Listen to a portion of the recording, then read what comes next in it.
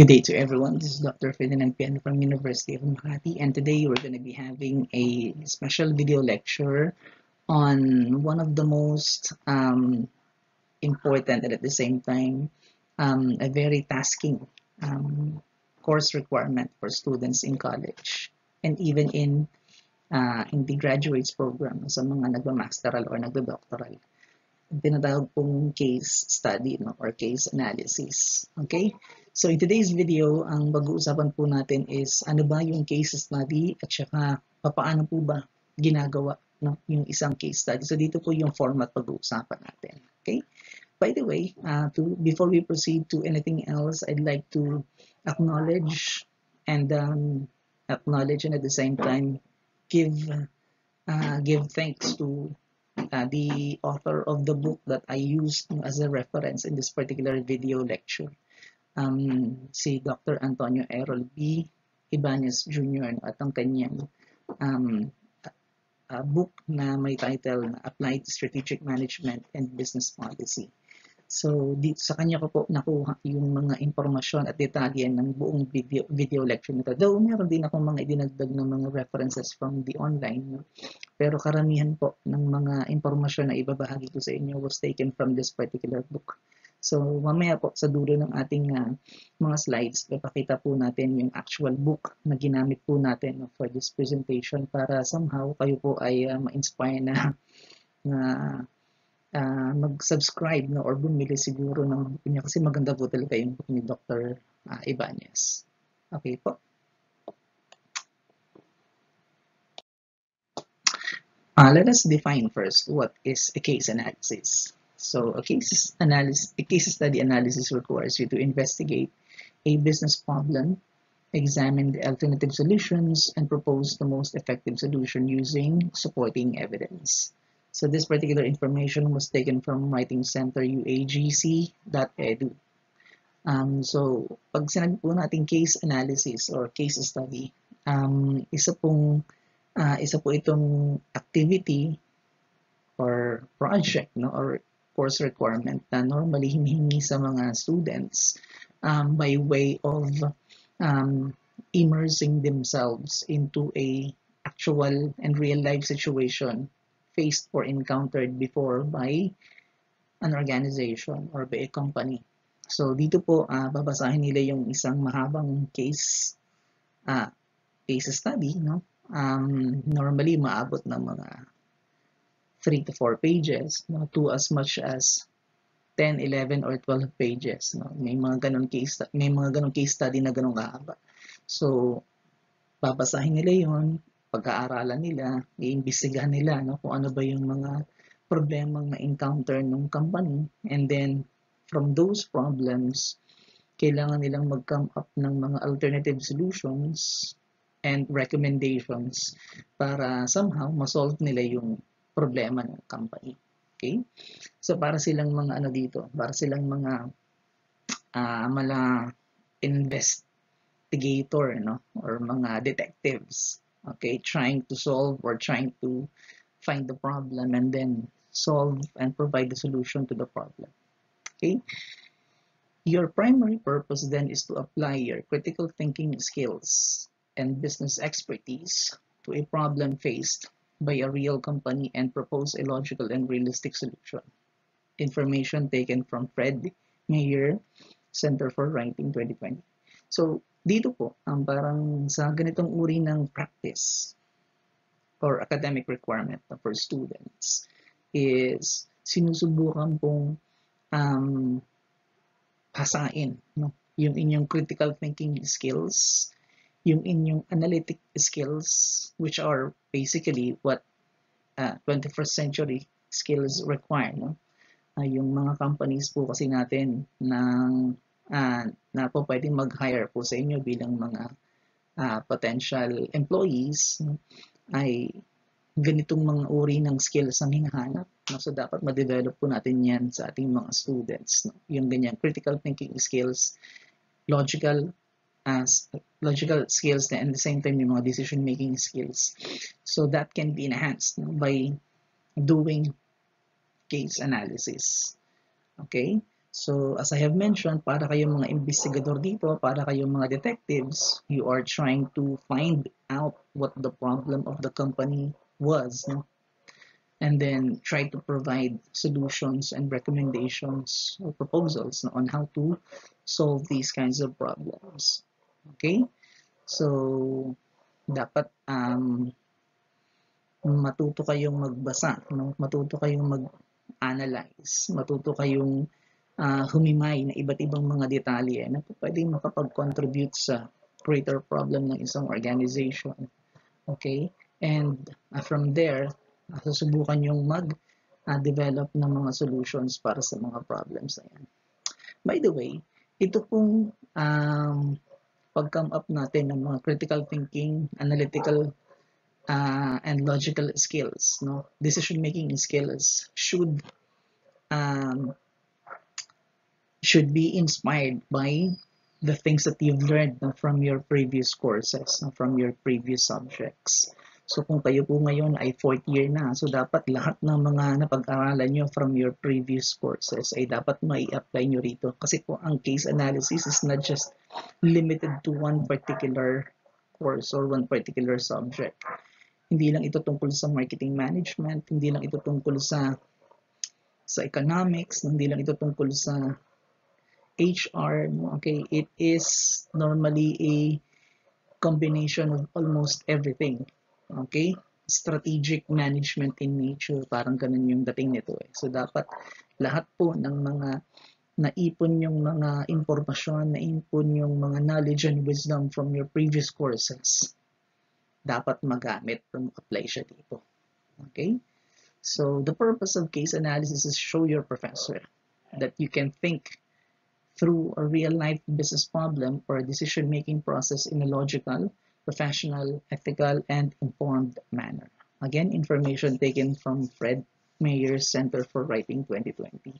So, as mentioned from that bullet, so dapat mapatunayan niyo po sa ating uh, teacher or professor na yung inyong binasang mga real-life business problems ay dapat niyo pong um,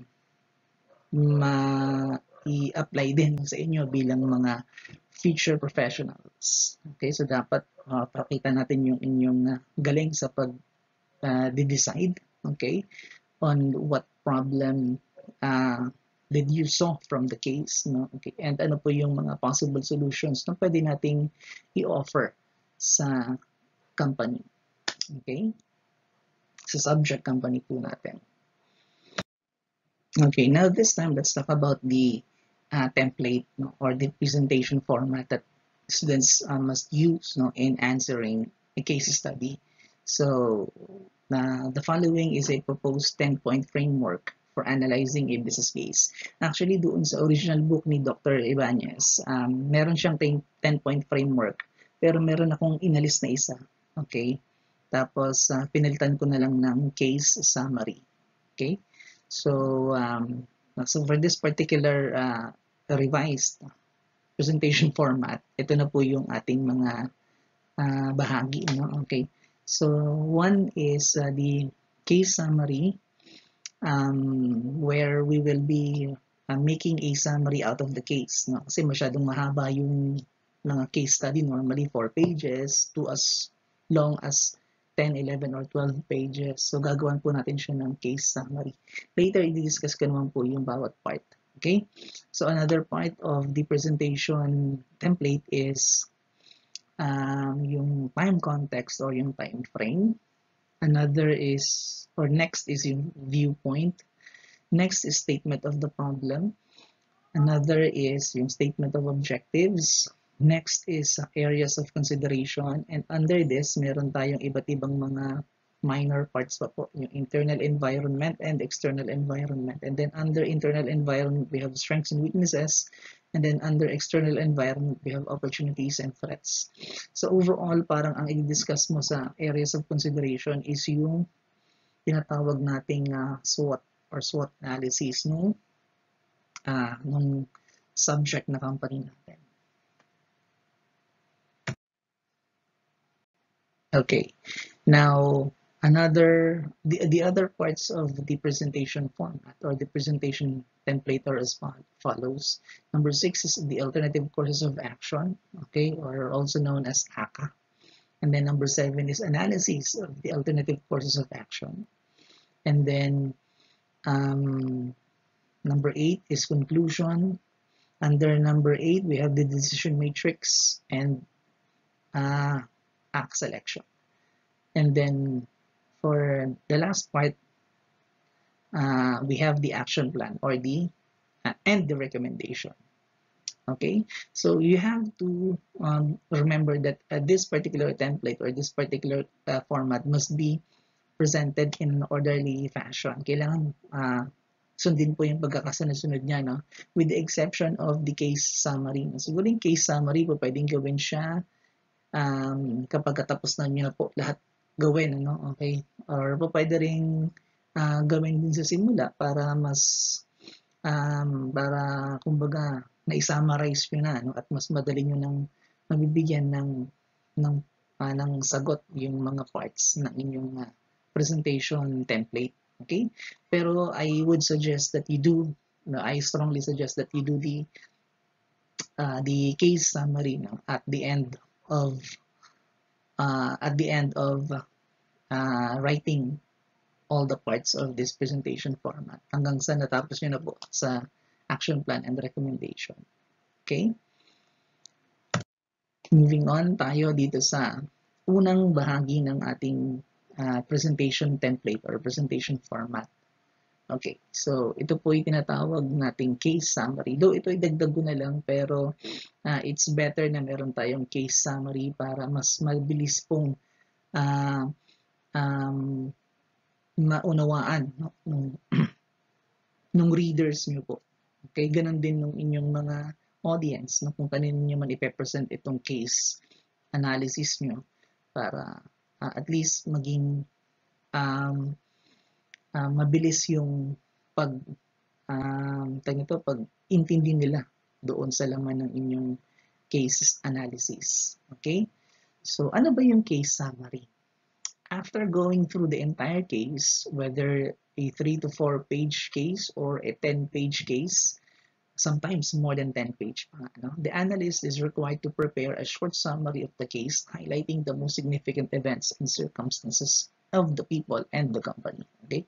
So, i-highlight lang po natin yung mga pinaka-mabibigat na mga pangyayari, no? yung mga events or yung mga uh, importanteng mga sitwasyon no? or circumstances ng mga tao within the company or the company itself. The length of the summary depends on the size or yung pages no, nung, nung case na inyong ina-analyze. 3 to 4 page uh, case might need a one-page summary. Okay? Kapag ka tatlong, tatlo hanggang apat na page lang po yung haba ng inyong case, siguro mga isang page ng summary or a little less than one page may be enough to summarize the entire case.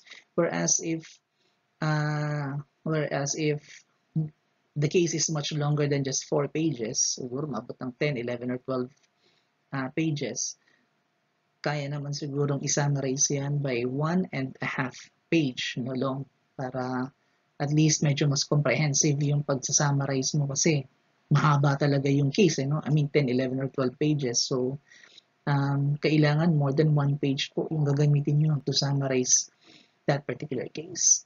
A summary must not be a copy-paste you know, from the case itself, but rather the writing or the writing of the analysts themselves. So ito po yung karaniwang uh, um, mistakes na ginagawa ng mga students no? um, in writing a summary, no? Okay, whether a case, whether a marketing plan or a business plan summary, no? Ang ginagawa nila is um, kinaka-copy paste nila. So, mas maganda po kung yung inyong case summary is more on the writing of yourselves, no? Kumbaga yung I mean, writing coming from your own understanding of what the case is all about. Okay? um, pwede kayong dumampot ng ilang mga sentences or statements from the case, but you have to do it, uh, but you have to write it on your own.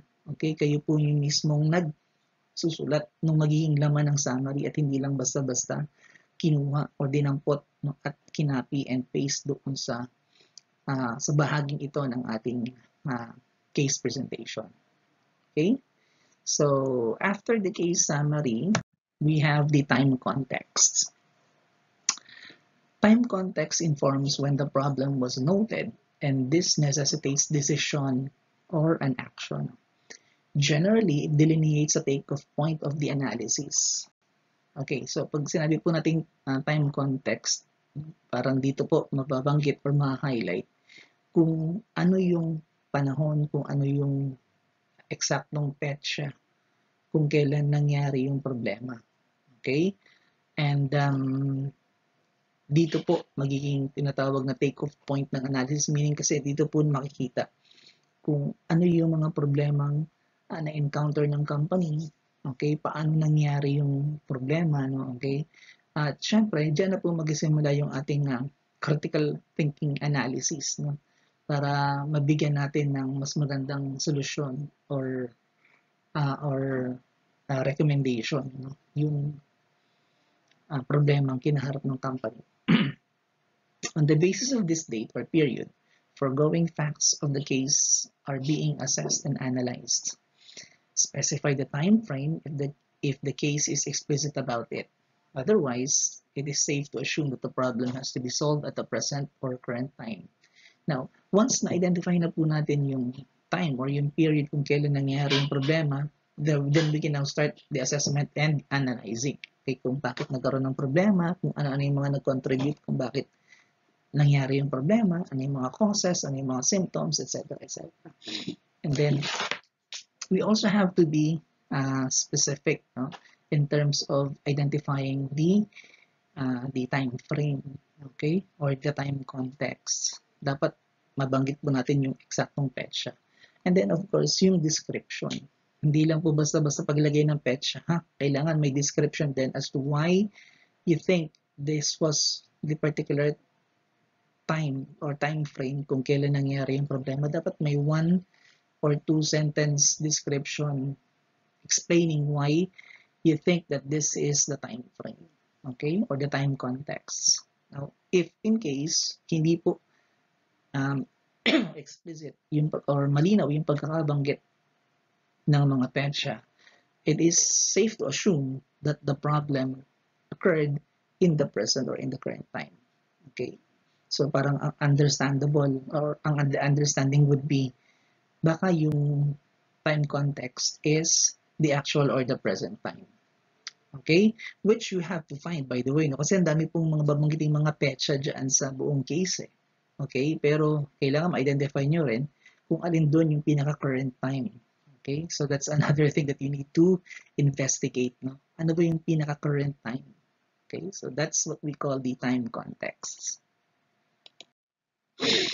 The next part of our uh, presentation template for case analysis is the viewpoint.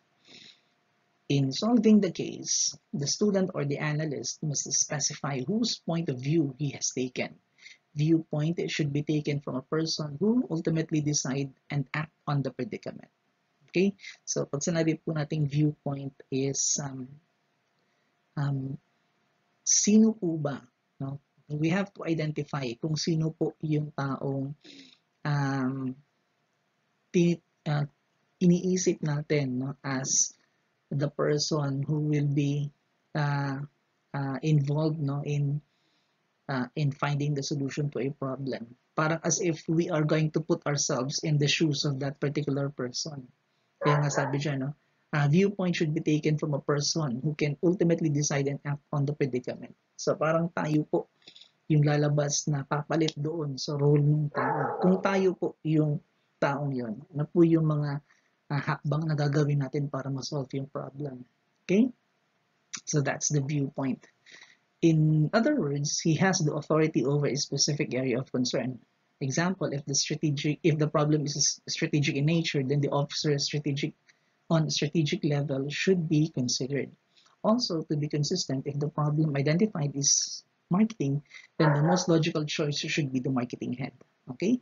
So, uh, kung yung viewpoint po o yung tao po na ating uh, uh, naiisip na magiging authority to uh, solve that particular concern. No? Um, siya po yung kinukonsider natin viewpoint.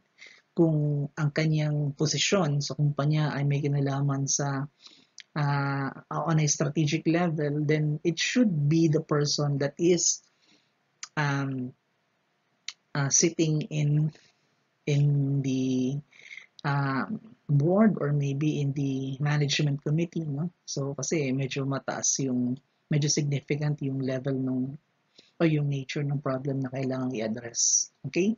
Kung uh, pang marketing naman po, yung issues o yung problems na iniisip nyong magiging, naging problema ng kumpanya, then someone from the marketing department should be considered as uh, the viewpoint. Okay? So, Um, now, to help you out in making a decision as to who will be your viewpoints, let us take a look at these following uh, management decision levels. Okay, for policy level, we have the chair or the board of directors, the CEO or the COO. Okay, pwede rin sigurong MANCOM or management committee kasi sila po yung mga matataas na mga uh, mga uh, posisyon sa isang kumpanya. Okay? Kapag project level naman, mga division heads, pwede siguro yung marketing head o kaya yung chief marketing officer, yung pwedeng ganun. No? So, kung HR, ganun din, no? division head, no? H, uh, division head for human resource. No? So, kung sa tingin nyo, sa ganung level yung problema, well, pwedeng, yun ang pili, pwedeng siya yung piliin nyo. Okay? Project level po ang tawag dyan. For program level, managers or junior executives po ang pwede nating uh, kunin. Siguro mga branch manager, mga product manager, brand manager, so on and so forth. Okay? Uh, for tasks and activity level, mga supervisors or mga heads po yung pwede nating piliin as our viewpoint. Okay? Kung medyo mababa lang po yung level ng problem na na-encounter ng isang company. Okay? Moving on. So let's talk about the next uh, part of the presentation template, which is the statement of the problem. Uh, proper identification of the problem is often one of the most difficult steps in a case analysis. Every case analysis requires identification of the main problem that requires a solution or a course of action. Okay?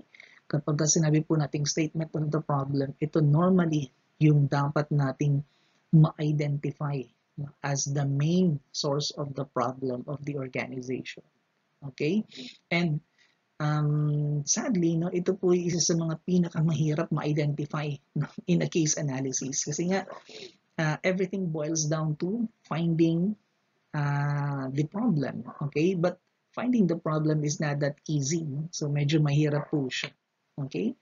In fact, every case analysis requires the identification of the main problem that requires a solution or a course of action. Okay? So given yan, parang nabanggit ko na from the previous slides that um, um, one way to uh, solve the problem is to identify the, the, the main problem first. Okay? And once identified na po natin yung main problem, we have to think of uh, the solution or course of action to solve that particular problem. Now, if I may share something that uh, Albert Einstein once said, no, okay, if uh, he was to solve a problem, though, he would normally spend about 50 or 55 minutes in think, thinking what the problem is first. And then maybe 10 to 5 minutes to think of what the solution may be. So parang dun pa lang po coming from na uh, Albert Einstein himself. Kung kailangan kong magbigay ng solusyon sa isang problema, well, I have to think of the problem most of the time. Kailangan malaman ko muna kung ano yung problema because it's hard to find a solution to a problem without identifying the problem first. Imagine yourself as a doctor, a physician, medical practitioner ka, isa kang doktor, meron kang pasyenteng dumating, meron siyang sakit, meron siyang sisigaling lagnat. Okay? you can't just give a prescription or eh, yung magre-reseta ka agad ng gamot sa kanya without even studying kung ano yung status ng inyong pasyente. Okay? Kasi yung uh, lagnat might just be a manifestation of a particular ailment or disease na kanyang uh, nai-experience. No? Okay.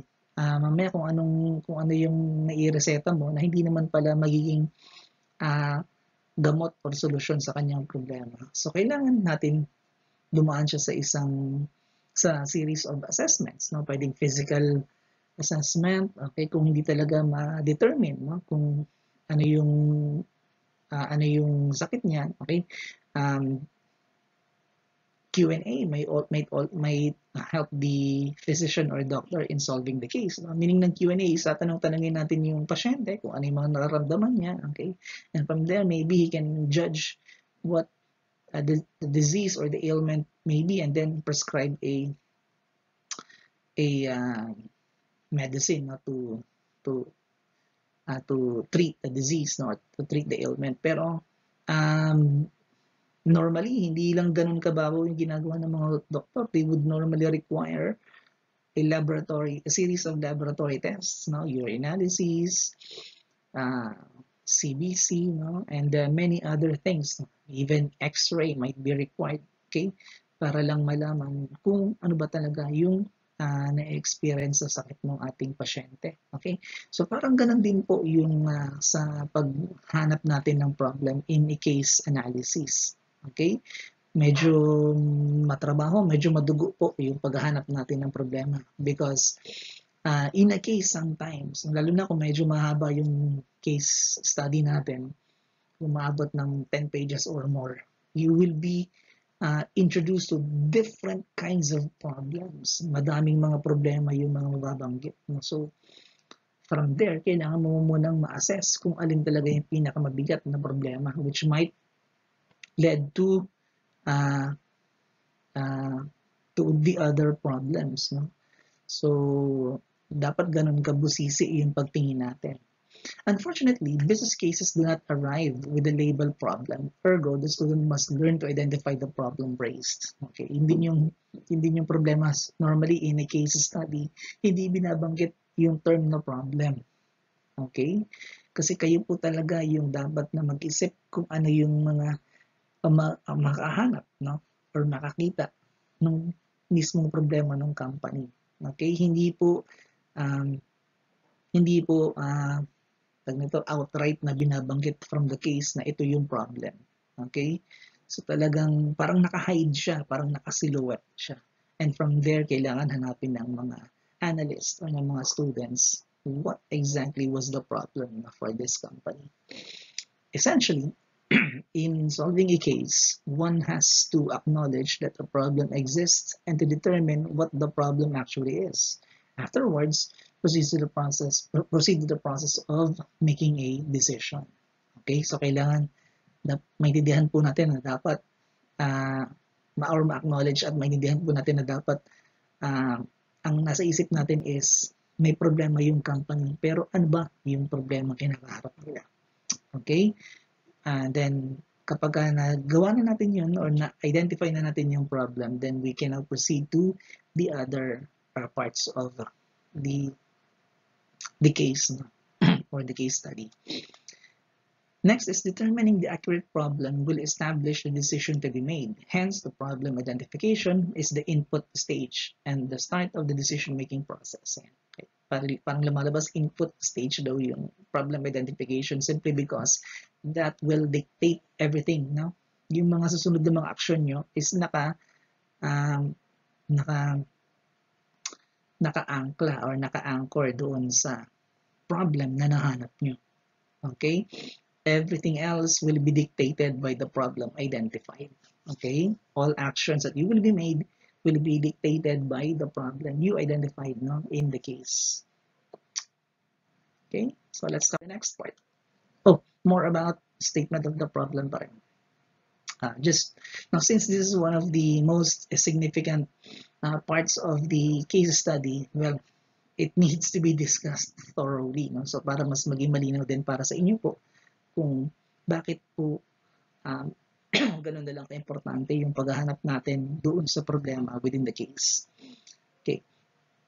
So to further discuss this particular part, uh, this is followed by the problem description and analysis. So once we identified the statement of the problem or the problem of uh, within the case, it should be given a product description and the analysis. Okay, dapat mabigyan po natin ng ng, uh, ng description and ng paliwanag. Bakit ito po yung naisip nating um, problema ng ating company. Okay? The problem is the paramount concern than its solution, which may be merely the application of the strategies applied by some of the companies with similar concern. Mabigat yung statement na yun. Ha? You know why? Kasi um, uh, when we say solution may be merely the application of strategies, so parang uh, it's like saying na the strategies must be uh, the strategies or the solutions that the analyst will provide is somehow um, academic, no? Parang elementary na lang for for the uh, for the uh, the analysts, no? for the students to uh, to find out the actual solution to a problem. No? Pero mas parang mas mabigat po na task is yung paghahanap muna doon sa problema. Okay, kailangan ma-identify muna natin yung problem.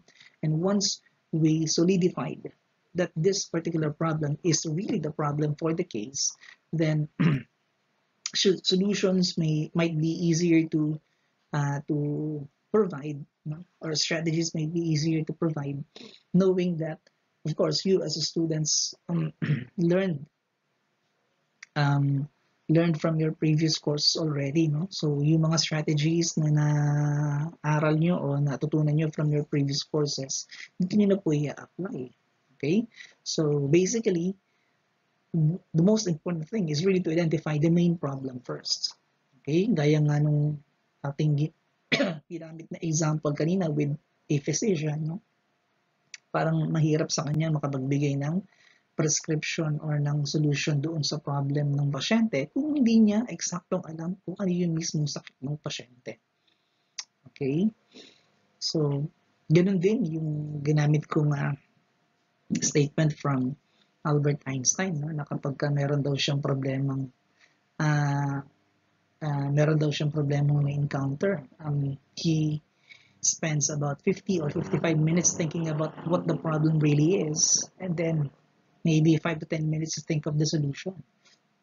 so that's that's how he uh, he divides his time no, in solving a particular problem. So dun pa lang marirealize niya, my God, mas mahirap pa lang ma-identify yung tunay na problema bago natin makuha yung solution. Okay? So what is a problem? A problem is an area of concern or a difficult and perplexing um, pwedeng symptoms and cause, situation in a business, hindering or threatening the growth or attainment of the company's objectives. So when we say a problem, isa po siyang area of concern. Okay? Isang bagay na nagpapahirap sa kumpanya. Okay? Isang bagay na nagpapahirap sa sitwasyon ng kumpanya. No? Na nagiging dahilan ng kanilang hindi pag-unlad. No? nagiging dahilan ng kanilang hindi pag-accomplish ng kanilang mga stated objectives. So, nagiging hadlang sa kanilang pag-angat or nagiging hadlang sa kanilang paglago. Okay? Nagiging hadlang sa kanilang um, um, magandang takbo ng kanilang operations. No? So, yun po yung mga kinoconsider na problem. A problem exists when a difference between the current state and a more desirable state is perceived.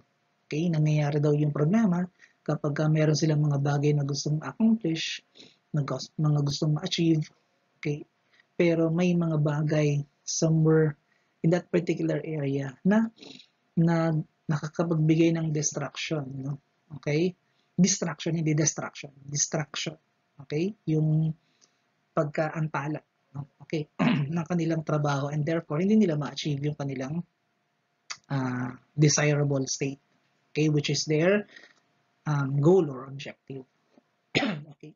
Now, um, in identifying a problem, you have to consider the two uh, main main um, culprits. Okay, in in uh, in citing a particular problem. No?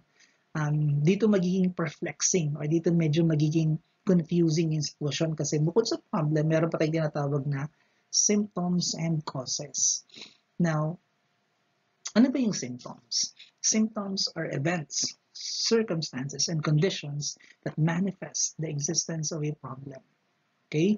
Mga events or mga circumstances na po o mga kondisyon na po maka, uh, makapagbigay ng manifestation doon sa isang problemang mag-exist. Okay?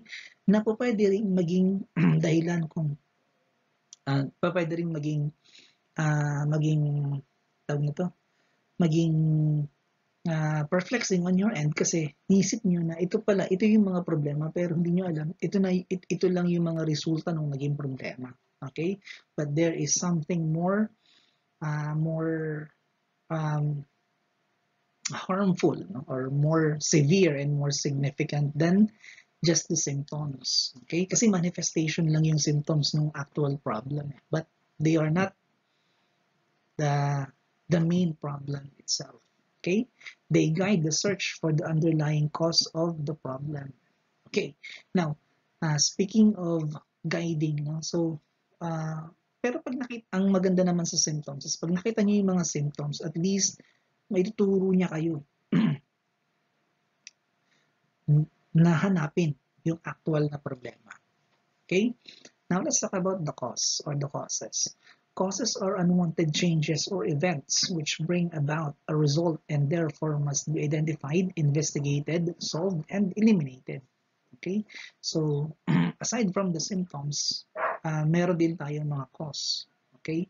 So, these are mga unwanted circumstances or mga, uh, mga unwanted uh, events and and uh, changes in the operations of the company that brought undesirable results. Okay? And therefore must be identified. Kinakailangan madapat, kinakailangan mahanap or makita nila, imbestigahan kung bakit nangyari yon and hanapan ng solusyon no? or eliminate as much as possible. Okay, so ito yung mga causes. Now, it's important that you find the causes first. Okay, which uh, which uh, might contributed to uh, the greater problem of the organization or of the company. Okay. Now, as to um, as to now which one should be addressed first, I think you should address the. Uh, it is paramount that you should address the causes no? because it contributes to the greater problem of the organization. Okay? So, once na nakita, nakita nyo po yung mga causes which led to the bigger problem, Okay, uh, you are on target of solving that particular case. Okay. now the next part is once we've once we're done with identifying the problem, we now we will now be moving on to the next part of the presentation format, which is the statement of the objectives. Okay, so now that we've identified the problem, we will now be citing our objectives no uh, in basically solving or uh, coming up with a solution to the problem the objectives of the analysis is the goal in which the case hopes to achieve. These are steps or accomplishments that company desires to be given a specific period of time in the future.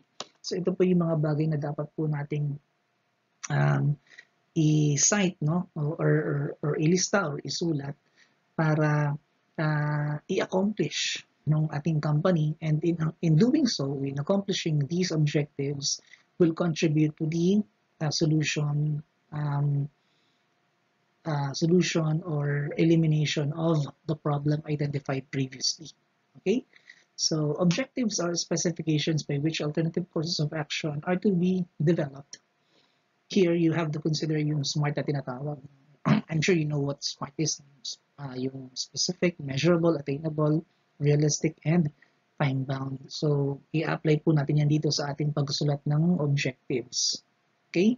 So, objectives are merely considered as alternative courses of action din. Pero, ang difference lang ng statement of, of objectives sa alternative, sa alternative courses of action is mas detalyado po sa ACA, no? Sa, alter, sa alternative courses of action. Whereas dito sa statement of objectives is just a one-liner lang ito, mga one sentence, no?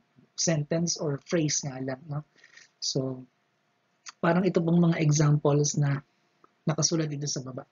Most common objectives are as follows, no? To, to re-establish previous conditions, to improve the current level of performance, to create conditions never before realized. Okay, these are just some of the um, the examples, but at the same time, parang guide lang. No? Okay, hindi po siya talaga yung actual na smart na objective. Kasi kailangan dyan, may time bound. Eh, no? Kailangan dyan specific, so it must be um, expressed in numbers or in figures. No? um, kapag ka naghahanap ako ng object, kapag ka nagpapagawa ako ng objective sa mga students ko, I would want to include numbers no, and figures like 25%, no, 10%, um, kung monetary, let's say 1 million, 10 million, mga ganyan. Or kung kung sizes, no? kung bilang, let's say mga 1,000 units, no? 10,000 units, 10,000 pieces, yung mga ganyan. Para mas specific talaga siya and maging measurable. Because these three, no, as guide no, or as samples no, in writing your objective, these are not specific and measurable. Okay? And how can you attain this without any specific numbers that you would include? Okay? So, of course, you have to be time-bound also, meaning dapat naka-specify din dyan kung anong panahon or anong petsa dapat ma-accomplish yung mga objectives na yan. Okay, so lagyan po natin ng mind frame. Like for example, one month, two months, no? Uh, first quarter, second quarter, third quarter, last quarter of the year, okay, etc. etc. Okay, so dapat may petsa o may panahon kung kailan siya dapat ma-accomplish. Kasi yun po yung mag-set ng boundary Okay? Or parang timeline or deadline for this to be accomplished. Kasi kung ang objective natin cannot be accomplished in a certain in a particular time, parang it's useless to set an objective, right? For example, you're a student and you and you wanted to graduate, no? pero hindi ka naman nag-set ng timeline kung kailan ka graduate. So, ibig sabihin kahit 40 years old ka na, uh, okay lang na pagdating mo ng 40 anyos, doon ka lang gagraduate, di ba? So, dapat bigyan mo ng time frame. I need to graduate in college uh, in in 4 years time. Sa apat na taon, dapat makagraduate na ako. Ngayon, kung medyo talagang medyo may problema ka when it comes to your schedule, no? when it comes to your finances, 5 years might be acceptable, no? Okay, siguro kung hindi ko matapos ng apat taon, I'm gonna give myself five years. Okay? Sa loob ng limang taon, dapat tapos ko na siya. Okay? So, in five years time, nakagraduate ka. So, accomplish yung, yung objective. Okay? Kasi nagbigay ka rin ng time frame. A good objective should be able to reduce the uncertainty regarding the action and realize the desired outcome. Yun po yung ibig sabihin ng mga binanggit ko kanina. No? Yung pagiging specific, pagiging me measurable, and pagiging pagkakaroon ng time bound.